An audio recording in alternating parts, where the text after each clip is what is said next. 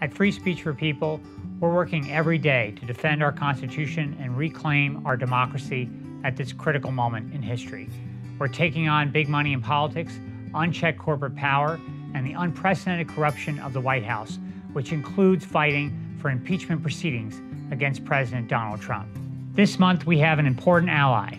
Credo Mobile has supported organizations like us for over 30 years, and this month, we can earn a share of a $150,000 grant that can bolster our ability to fight for our Constitution and our democracy. But we need you, and the good news is it's easy and it's free. Just visit credodonations.com and cast a vote for free speech for people. The more votes we get, the bigger our share and more effective we'll be. It doesn't cost you a cent, but you'll be making a big impact.